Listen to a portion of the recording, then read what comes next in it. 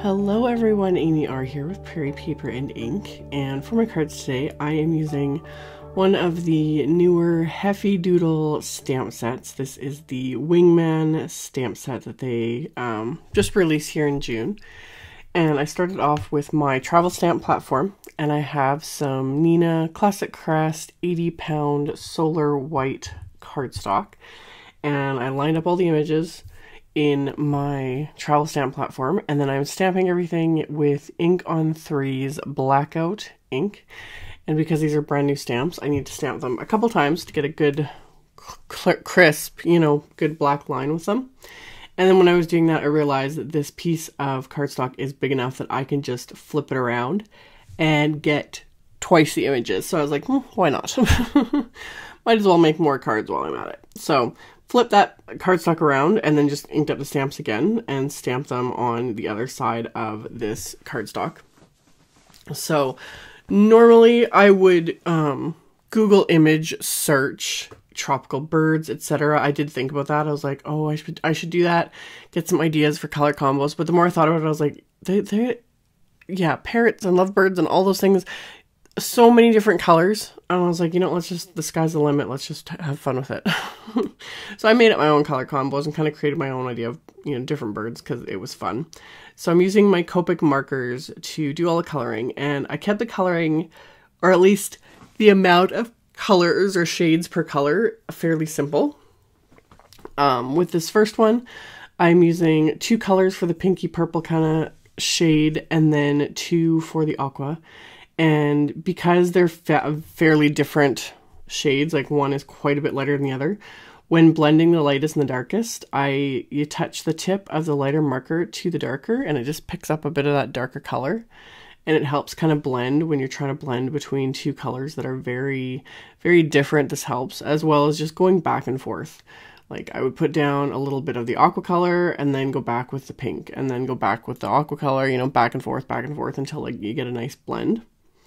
So I ended up doing that with pretty much all these images. I just kind of had some fun with experimenting and blending um, colors. So after I did the um, pink and aqua bird, I went on to do this one, and this one I did in blues and yellows, and did the exact same thing. Um, kind of blended the yellows into the blue, and the really pale yellow and the really pale blue blended fairly effortlessly. So then I would use those to blend out the darker shades of those colors. And again, you just go back and forth, really light little feathering strokes. Um, for me, this is fairly, I w- I don't consider it easy per se, but it's just something I've been doing for years. I just don't do very often because more often than not, it takes fair to practice. It works. It works better too, though, on smaller images like this when you're doing very large areas um, trying to feather in two completely different colors, it can get a lot more difficult because it's a lot easier to see the blend. You can see the the marker strokes, etc. So it's just something um, you can just practice. You know, stamp out a few little images. Make sure you're using good cardstock. I get asked that a lot. Um, people that have issues with their Copic coloring and everything else. One, make sure you're using a good Copic cardstock. This Neenah Classic Crest, 80 pound. Um, Classic Crest, 80 pounds, solar white. Um, this is the cover weight. This is a good one. Um, the 110 pound of this exact version is also another one I use.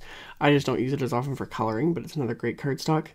Um, I've been seeing a lot on different forums lately. People uh, finding other ones. There's because Neenah makes a ton of different cardstocks. Like there's tons. And another one that you come across a lot is it'll say Neenah um, exact index, I think is what it'll say. That is not the same as this. You it'll look similar, but it doesn't color the same. That's why this one, this classic crest solar white, um, is the good one. So I don't recommend any of the other ones unless they're cardstocks like um, Copic has their own like Copic Express cardstock. It's a good one. I don't use that either though. Just I prefer the Neenah. Um, Simon Says Stamps 120 pound cardstock is also a really good one. That one it, it's almost impossible to have the markers bleed through it. So that one's a really nice one too. I just, again, I just prefer, my go-to cardstock is the Neenah. This Neenah 80 pound classic crest solar white. It just works the best. So whatever floats your boat when it comes to um, specifics, but I just re- recommend getting a very good, good white cardstock and then a good stamping ink like this Inkon3 Blackout, um, Simon Says Stamps, Intense Black, MFT has an Extreme Black. Um, any of those ones are really good stamping inks that do not bleed or smear. And then once you've got a good cardstock and a good black ink, then it's just a matter of stamping images and practicing coloring. So, um, yeah, there's my random little bit of Copic coloring advice, I guess. I did list all of the colors I used here on the screen, just um, for each bird, and then I did the stand, etc. And then once I was done all of my coloring, I went in with just a white gel pen, added a bunch of highlights. Um, that's something else I get asked a lot about. With these especially for the most part i'm just adding highlights wherever. I'm not really following a light source or anything like that. I just like adding the little white highlights just to give that pop and um, add a little bit of texture sometimes. Like i'll do add little dots here and there and do little things. Um, i just love how it kind of pops and just finishes off all of these images after all of that coloring so i just kept going i just went along and added them and then would add them in the same areas for the same bird when i flipped everything around and then once I was done all of my coloring, all of my little white gel pen highlights, I took the coordinating die set and taped everything into place and taped it really well. Because um, there's nothing worse than having your dies like shift when you run them through your die cutting machine.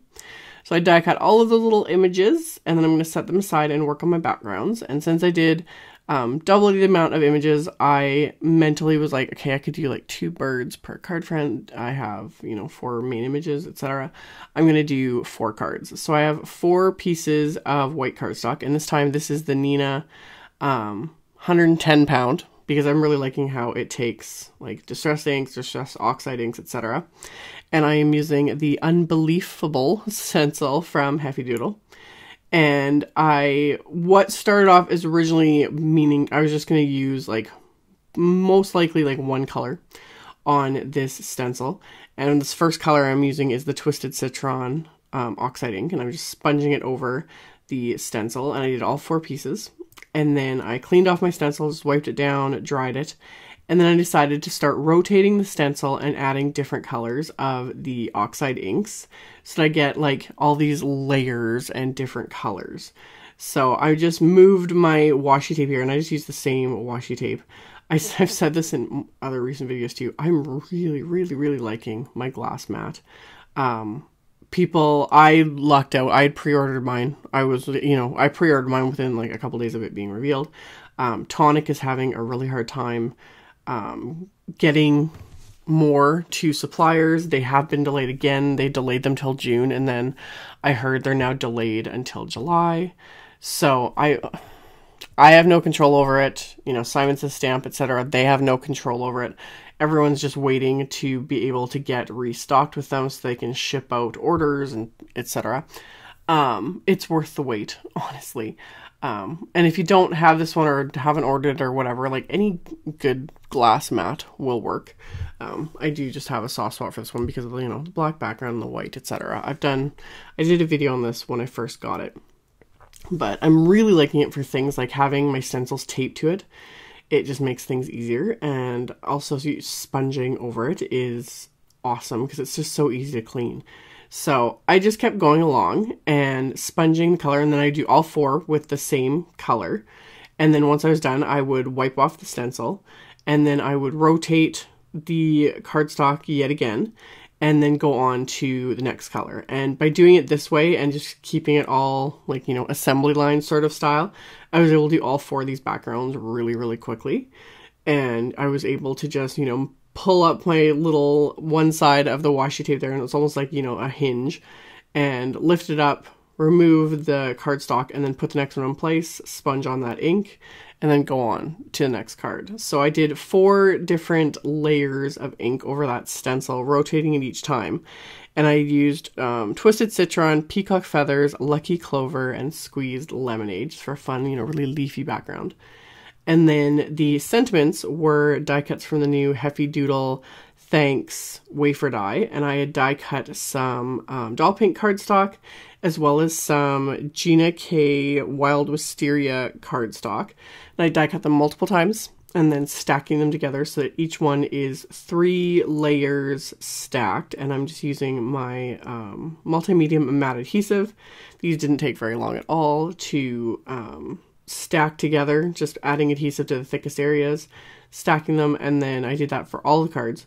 And then I had laid out my little birds and everything, and I realized my background was was pretty busy with all those leaves. So I wanted the images to stand out a little bit, so I just cut down some more white cardstock into rectangles. And I just sponged two of them. I sponged the squeezed lemonade um, distress oxide ink, and this is where it really, like, sponging off the glass mat. I, I just get a smoother blend. Like Tim Holtz wasn't joking when he said it's a complete game changer when you sponge off of glass versus working on a craft mat, which is what we've been doing for eons now. Um, yeah, I'm really liking it. So two I did with the squeezed lemonade, two I did with twisted citron, just sponging that color onto the edges. And that was going to be kind of my main space for these little images. And then for this little like bird stand here, I took a ancient, I have this old 1 8 circle punch that I've literally had for 15 years. And I punched a little hole there so I could string through some baker's twine and then I'm going to add my multi-medium matte adhesive to the back of it. And then I can adhere that into place and then fold over that twine to the back of this little panel here. And then I just use my washi tape to tape it into place. So fold that over, tape it down with washi tape, and then tape the ends down with the washi tape as well, because once I glue this down, no one's going to see it, so it doesn't matter. So I've got all of that adhered. And then for my little birds and whatnot, I'm going to use just little 3D foam squares to adhere those to these um, rectangles. And then once I have those adhered, I decided to adhere these to my backgrounds just using some Nuvo glue. So put a thin amount of that on and then kind of center those onto my backgrounds. Once I've got those in place, I can adhere my die cut sentiments, and I'm again just going to use a Nuvo glue, applying it just to the thickest areas of the sentiment. You don't have to coat the whole thing, um, but trying not to apply too much. I don't want it like oozing out everywhere. It does dry fairly, like it dries clear and it dries pretty much matte as well. Um, but I do try and use a lighter hand with that because you also don't need very much. And then I did some fiddling and made a teeny little bow just you know making bunny ears basically and you just twist it and then and then fiddle. You just kind of fiddle until you know you make this little little tiny bow cut the ends with my scissors and then i just applied a good dollop of multi-medium matte adhesive here and then press the bow into that and then once that dries that bow ain't going anywhere. So adhered that to the top there and let that completely dry and then off camera, I um, ended up stamping. There's two little tiny speech bubble stamps in this set. So I stamped them with Picked Raspberry Distress Oxide ink and the Peacock Feathers Distress Oxide and die cut them with their coordinating dies. And they just happen to also fit perfectly with these little foam squares. So it was quick and easy to adhere them. So all the little birds are talking love to each other. I just thought that was really cute. So I added those to all the cards as my only embellishment. I was going to add, you know, sequins and jewels and all those things and decided not to. I had, you know, enough going on with the inked backgrounds and all the fun colors, etc. So I um, used the Nuvo glue on all of my panels and adhered them to card bases that are heavyweight white cardstock cut to four and a quarter by 11 and they were scored at five and a half. So these are all top folding A2 size cards. So applied my adhesive, centered those onto my card bases, and then to finish off the insides of all my cards, I took the stencil and I just used my washi tape to mask around just one of the leaf images in the stencil because I didn't want um, any ink to get picked up anywhere else. I just wanted the one leaf there. So I used my washi tape to kind of mask that off. And then I just used my Twisted Citron Distress Oxide and sponged that onto the inside of all four cards just to give it a little something. So I went along, did all the insides of all four cards.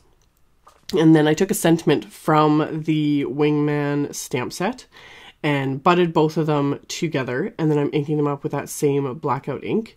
And I'm going to stamp that on top of all of those sponged leaves on the insides of the cards. And that's going to finish off all my cards. So that is um, my video for today. This is actually part of a blog hop celebrating Heffy Doodle's first birthday. So there will be info in my blog post with links to all the other stops on the hop. There's a giveaway, etc. So check out my blog post, which I will have linked directly below the video, as well as all the supplies. So you can check that out below if you're interested. Thank you all so much for watching and subscribing and thumbs upping and commenting on my videos. I really appreciate it. And I will see you all very soon in the next one. Bye.